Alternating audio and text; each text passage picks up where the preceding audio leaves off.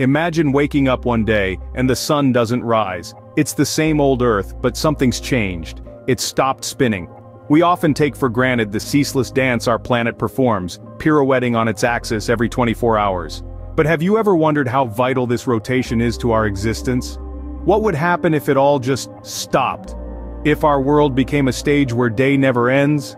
Well, the reality might be more terrifying than you think. If Earth stopped spinning we'd experience an eternal day on one side and an everlasting night on the other. Imagine that. Half the world in perpetual sunlight, the other half in endless darkness. The side facing the sun would be subjected to ceaseless scorching heat. This constant exposure to the sun's rays would make this half of the Earth largely uninhabitable. The heat would be so extreme that it could potentially evaporate oceans creating a barren desert-like landscape. On the flip side the half of the Earth shrouded in darkness would be a frozen wasteland. With no sunlight to provide warmth, temperatures would plummet. The lack of sunlight would also impact plant life, as without photosynthesis, plants would die off, disrupting the food chain and threatening all life forms. As physicist Paul Sutter puts it, it would be a world of extremes, from blazing hot to freezing cold. A world divided in two, one half in light, the other half in darkness. And it's not just about day and night, our planet's shape would change too. You see the Earth isn't a perfect sphere. It's an oblate spheroid, a shape caused by our planet's rotation. If the Earth stopped spinning, the centrifugal force that currently flattens our globe would cease, and Earth would become a perfect sphere. Now imagine the implications. Gravity would increase at the equator, but decrease at the poles. This gravitational chaos would have a profound impact on life as we know it.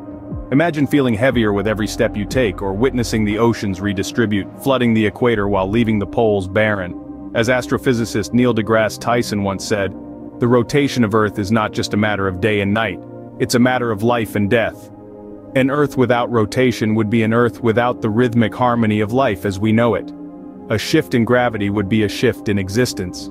So what would become of us, the inhabitants of this new world?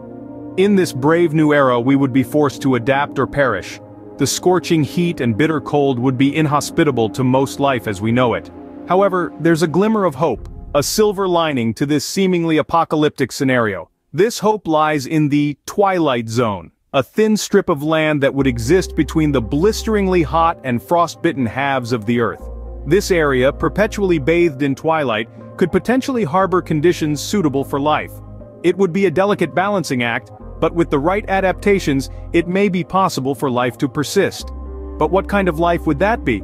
The inhabitants of this twilight realm would have to be incredibly resilient, capable of withstanding intense changes in temperature and weather conditions. Perhaps we'd see the rise of new extraordinary species, each uniquely tailored to survive in this harsh new environment.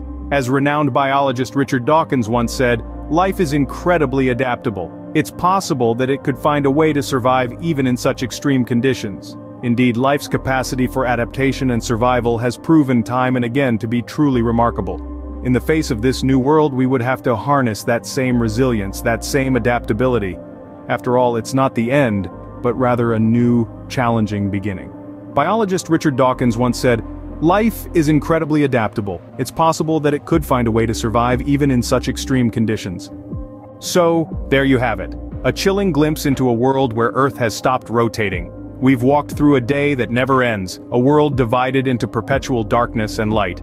We've explored the chaos that would ensue as gravity goes haywire, and we've pondered the end and a new beginning that could emerge from such a cataclysmic event. It's a thought-provoking scenario, isn't it? It makes one appreciate the delicate balance that allows our planet to sustain life as we know it. But it also stirs the imagination. What if we were to find ourselves in such a situation? How would humanity adapt? What new societies and cultures might arise from the ashes of the old?